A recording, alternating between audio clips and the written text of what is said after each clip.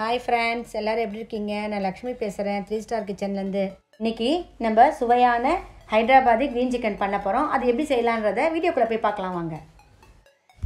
தேவையான பொருட்கள் சிக்கன் அரை கிலோ எடுத்திருக்கேன். தயிர் இஞ்சி பூண்டு பச்சை மிளகா புதினா கொத்தமல்லி. இப்போ இதெல்லாம் அரைக்கிற பொருள். வெங்காயம் மூணு எடுத்திருக்கேன். மஞ்சள் தூள் கரம் மசாலா சீரகத்தூள் தனியாத்தூள் உப்பு எண்ணெய்.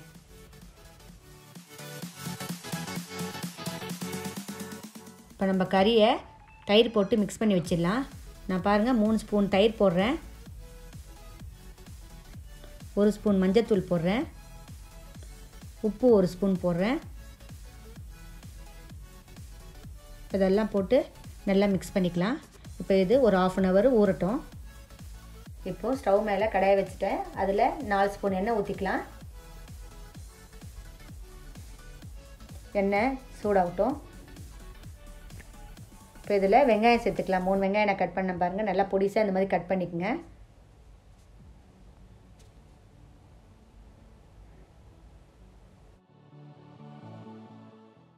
இப்போ வெங்காயத்தை ரெண்டு நிமிஷம் வதக்கிக்கலாம்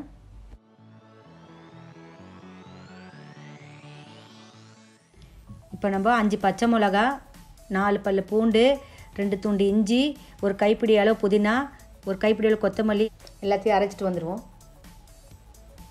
வெங்காயம் நல்லா வதங்கிடுச்சு. இப்போ நம்ம அரைச்சி வச்ச விழுதை இதில் சேர்த்துடலாம். இதெல்லாம் நல்லா வதக்கிக்கலாம்.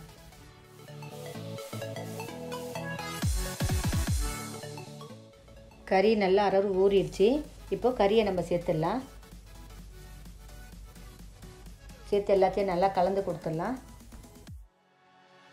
இந்த கிரேவியில் தக்காளி எதுவும் சேர்க்க போகிறது கிடையாது. தயிர்லேயே தான் இந்த கிரேவி செய்ய போகிறோம் இப்போ இதெல்லாம் நல்லா வதக்கி கொடுத்துட்டோம். இப்போ இதை கொஞ்ச நேரம் மூடி வைப்போம். ஒரு பத்து நிமிஷம். கறி நல்லா வதங்கிடுச்சு. இப்போ நம்ம இதில் மசாலா ஆட் பண்ணிடலாம். கரம் மசாலா ஒரு ஸ்பூன் சேர்த்துக்கலாம். சீரகத்தூள் ஒரு ஸ்பூன் சேர்த்துக்கலாம். தனியாத்தூள் ரெண்டு ஸ்பூன் சேர்த்துக்கலாம்.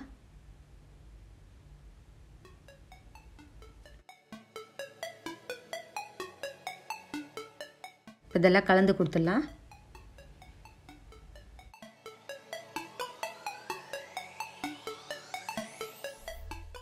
உப்பு ஒரு ஸ்பூன் சேர்த்துடலாம். ஏன்னா நம்ம கறியில் ஒரு ஸ்பூன் சேர்த்துருக்கோம். அது கரெக்டாக இருக்கும் உப்பு இந்த அளவு. நல்லா வதக்கி கொடுத்துடலாம் ஒரு வாட்டி. ஒரு அரை டம்ளர் தண்ணி ஊற்றிக்கலாம் இதுக்கு. இப்போ நல்லா கலந்து கொடுத்துடலாம்.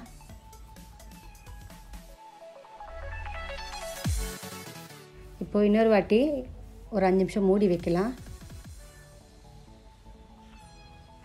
பாருங்கள் நம்ம கறியெலாம் நல்லா வெந்துட்டுருக்குது கிரேவியும் திக்காயிடுச்சு.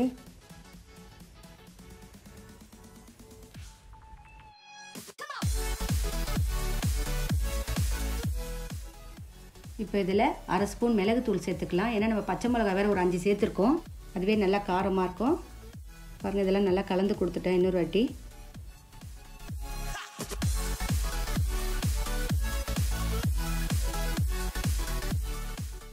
கிரேவி நல்லா திக்காயிடுச்சு.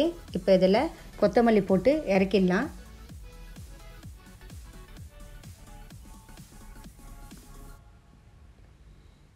போட்டோம் பாருங்கள் கொத்தமல்லி.